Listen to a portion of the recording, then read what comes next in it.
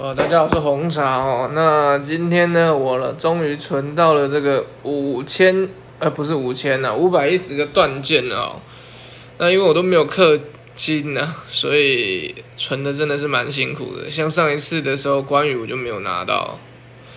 那这一次呢，就拿换个断，换个这个应龙戟。哦，它五百个断件哦，真的是很硬哦。那之后的时候可能会再继续存这个断剑，然后再去换貂蝉吧。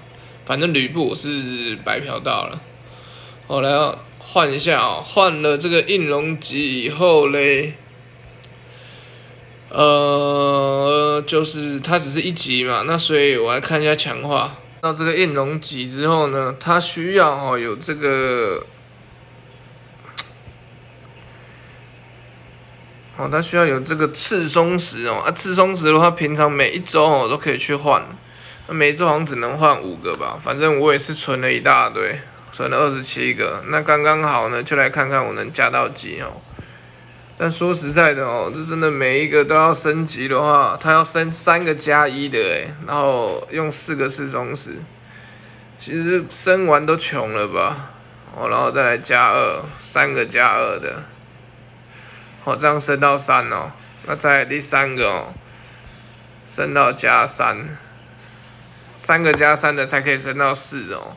好，然后我直接给他加五哦，我真的是太坑了，浪费了一大堆武器，一个，两个，